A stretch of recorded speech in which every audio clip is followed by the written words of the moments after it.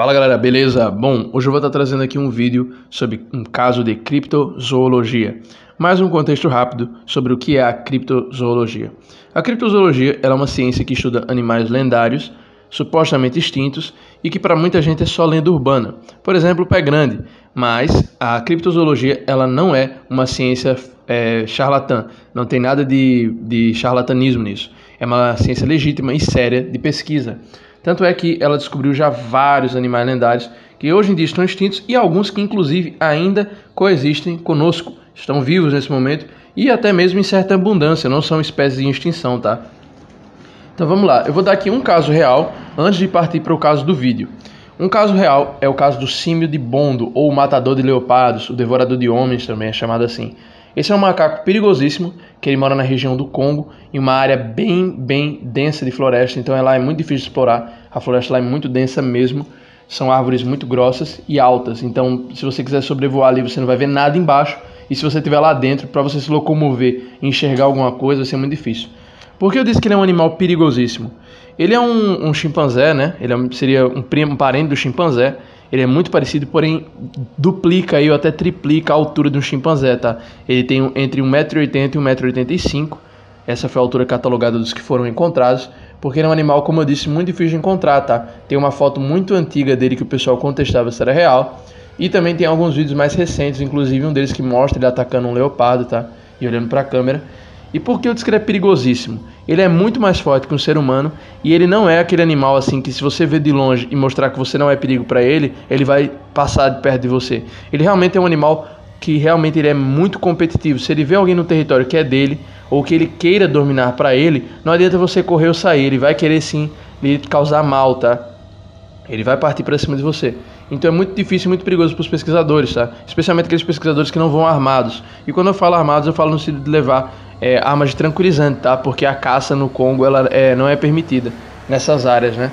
Apesar de ter caça clandestina como em todo lugar, o governo ele é contra você caçar esse tipo de animal, tá? Porque ele é, como foi descoberto há pouco tempo, ele ainda assim é um patrimônio. Então a caça dele é proibida. Então você tem que levar arma com tranquilizante, aí você tá seguro. Mas se você tiver desarmado, cara, é praticamente ele é uma sentença, né? Acabou para você. Ele é um animal muito forte que como você vê, é um macaco que ele luta e domina um leopardo com tranquilidade.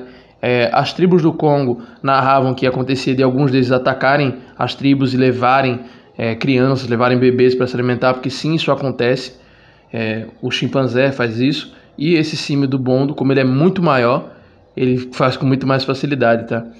Então, passando em frente agora, se vocês quiserem que eu faça um vídeo do cima do bondo mais detalhado, contando do processo todo da descoberta, eu faço também.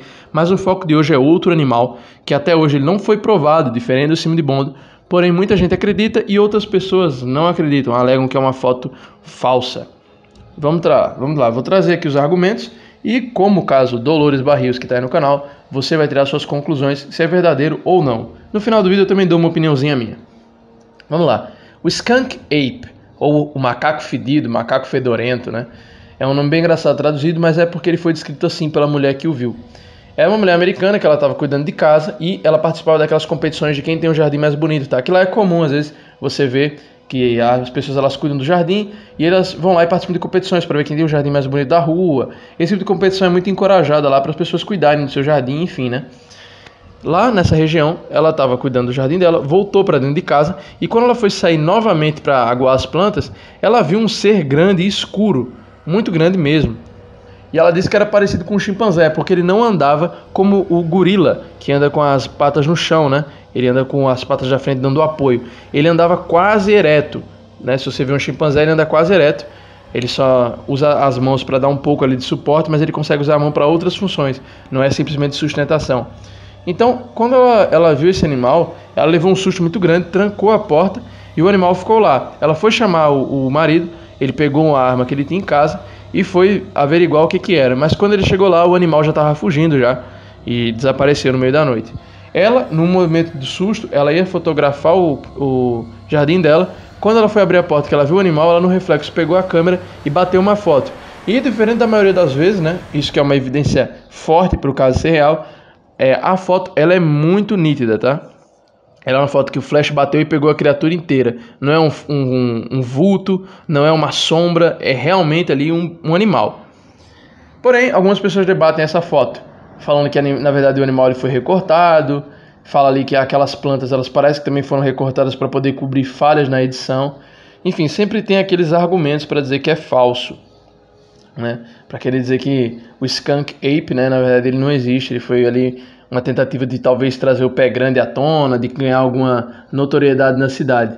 Porém, algumas outras pessoas depois que a história surgiu, falaram que já viram esse tipo de macaco, mas, né, fica sempre naquele imaginário popular. Será que é real ou não? Bom, alguns biólogos sérios, como por exemplo Forrest Galante, que ele até foi no podcast do Joe Rogan, ele disse que não existem macacos gigantes nos Estados Unidos. Né? o clima americano, o tipo de vegetação, ele não serve para perpetuar essas espécies, não é uma coisa que acontece com frequência. Ele é um forte defensor da teoria de que o pé grande, na verdade, ele é um urso preto. Se você não sabe, o urso, às vezes ele anda assim nas duas patas, tá? Por algum período de tempo. Você pode procurar, você bota no YouTube é, por exemplo, grizzly bear standing, você vai ver que várias espécies de urso, elas andam em pé, tá? Elas andam eretas por algum período de tempo. Ele na maior parte do tempo, ele anda nas quatro patas, né, de quatro apoios, mas às vezes ele fica assim em pé em alguns momentos. Então assim, se você está numa floresta muito densa à noite e você vê passar um, um bicho preto grande, você não vai pensar que é um urso, porque todo mundo tem a visão do urso andando de quatro patas. Você vê ele em pé, você vai pensar que é um grande macaco. Aí você vai lá e diz que é o pé grande. Então ele defende que vários vídeos de supostos avistamentos do pé grande, supostos vídeos de ataques do pé grande em acampamentos que tem na internet, são na verdade ursos que passaram perto de algum lugar e as pessoas pegam aquela filmagem específica e vendem como se fosse o pé grande, tá? Então também muita gente contestou isso para o skunk ape, mas você vê a foto não parece um urso, né?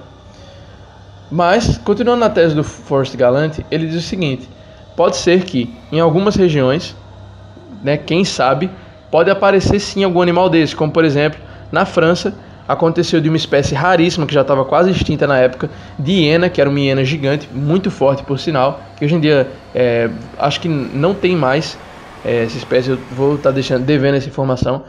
Hoje em dia não tem mais, mas na época ainda tinha, ainda não tinha sido extinta, que é uma hiena que ela tem praticamente ali o triplo do tamanho de uma hiena normal, e que ela foi apelidada de besta de Gévaudan, que foi a região da França que essa hiena apareceu que no caso até teoriza-se que foi mais de uma. E o que se dizia sobre a besta de Gévaudan é que ela era na verdade um caso de lobisomem, e que aquilo ali era um licântropo, né? Licântropo é a pessoa que muda de forma e se torna um animal, e no caso alegava-se que aquilo ali era sim um caso real de uma aparição de um lobisomem. Mas na verdade tratava-se de uma hiena, uma hiena gigante, que estava lá. E é, esse caso é muito famoso hoje, tá? tem até documentários sobre ele, também posso falar dele aqui no canal caso haja sugestão. E muita gente fala que pode ser isso que aconteceu com o Skunk Ape. Às vezes algum circo que tem esses animais deixou algum escapar ou algum fugiu mesmo por conta própria. Porque o que acontecia antigamente era que às vezes estava muito caro para o circo manter aqueles animais e eles simplesmente soltavam eles nas florestas. A gente sabe como é que era a crueldade antigamente nos circos, até hoje, né? Então pode ser que o Skunk Ape ele era um animal que ele era usado em algum tipo de número e ele foi solto ali e talvez aquele já fosse até um filhote de um casal existe essa, essa linha dupla, né? O Forrest Galante ele diz que não há, biologicamente falando, assim, naturalmente você não vai contar, por exemplo, um grupo de macacos, mas pode ser que tenha algum ali perdido. Eu vou por essa linha, tá? Eu acho que realmente pode ser algum animal, julgando ainda que é uma foto antiga, que nessa época fugiu de um circo, por exemplo, por isso que ele estava tão assustado, né? Por que, que ele ia ir para dentro de um, do quintal de uma mulher se não fosse para se esconder, né? Ficar escondido ali no meio do mato. Enfim. Então eu acredito que sim, o Skunk Ape é, não digo que ele é um monstro, tá? Porque pelo que dá pra ver, ele é só um animal assustado, até porque ele fugiu da foto da mulher e quando o marido chegou ele já estava bem longe. Então, assim, ele não, não, não, mostrava perigo, tá? Ele não era um animal agressivo, era simplesmente um animal assustado. O que reforça a hipótese de que ele fugiu de um circo. Então, eu acredito, não, não vou dizer assim, acredito muito, porque a gente precisa de prova fixa, né? A gente precisa ali ter um negócio realmente assim que pá, seja real. Mas eu vou mais por essa hipótese que o Skunk Ape foi sim algum macaco que fugiu de um circo. Então me, deixa, me diga aí nos comentários se você também acha isso, ou se não, me dá a sua opinião, vou gostar de ouvir. Dá aí também a sua opinião nos vídeos no geral. Se inscreve se você é novo, deixa o seu like, compartilha com quem gosta do tema e nós nos vemos no próximo vídeo, galera. Forte abraço.